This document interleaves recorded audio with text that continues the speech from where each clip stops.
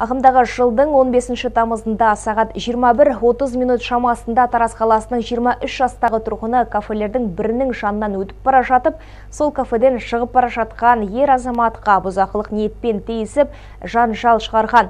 Нәтижесінде күдікті жәбірленушінің жүрегіне пышақпен шаншып кесілген дене жарақатын салып, оқиға орнынан бой тасалаған. Алған дене жарақаттары салдарынан жәбірленуші Тараз қалалық ауруханасының жан сақтау бөліміне түскен.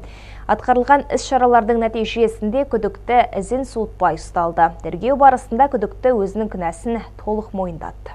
Аталған дерек бойынша Қазақстан Республикасының қылмыстық кодексінің 24 бабының 3 бөлігі 99 бабымен яғни адам өлтіруге оқталуымен сотқа дейінгі тергеу амалдары басталды күдіктіге қатысты бұлтартпау шарасы ретінде күзетпен ұстау қолданылып тергеу судьясымен санкцияланды қазіргі таңда сотқа дейінгі тергеп тексеру жүргізілуде.